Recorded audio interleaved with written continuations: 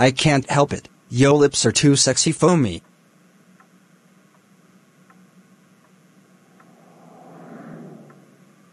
Neither can I. I don't even know why I bothered going against my old enemy for her man.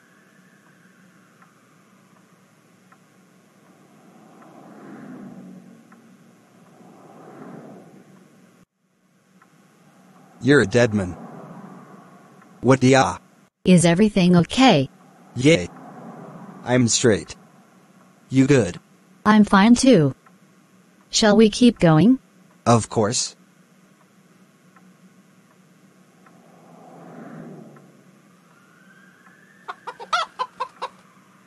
Riley, why do we keep stopping? Nothing, nothing.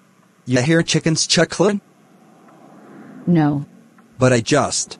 Oh, never mind. I'm probably just hallucinating. Let's keep going.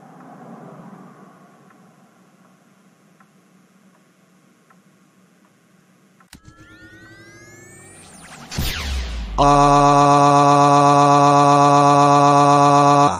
Riley? Seriously? What is going on? And I'd like the truth. Okay, Gemini. The truth is, there's a spider in your hair, and I'm afraid to get it out. Because I don't want to catch any spider rabies. Yeah, yeah. I'm just gonna stand and take these weird answers and constantly listen to you make these weird noises. No, I'm serious, Gem. Just let me out. Don't touch me. Guy, you're really not happy. Riley, what is the problem? Alright. We can't see each other no more, Says who? says me. Huey's not comfortable with it. What? This is about your brother? Yes, it is. And you broke his heart. Okay, I get it. So you and I aren't made for each other. I guess not. You're ditching me. Well, I don't like the way you did my brother.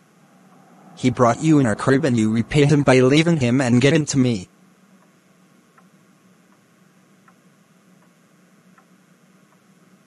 I'm sorry, Gem. I let my brother get in my mind. Get out. Why you gotta slam the door in my face? I said get out.